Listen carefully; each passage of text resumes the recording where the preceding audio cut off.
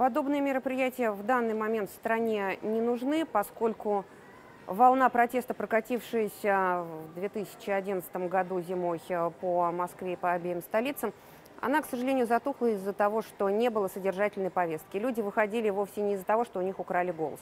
Они выходили, чтобы реально что-то менять. Но поскольку так называемые лидеры оппозиции оказались к этому не готовы, то эта волна сама собой захлебнулась. Сейчас, это, э, сейчас главное – это объединение людей вокруг каких-то конкретных проблем и задач, которые они могут решить, которые они будут заставлять существующую власть э, решать в их пользу и вставать на сторону жителей. Вот это вот единственное, что сейчас можно делать.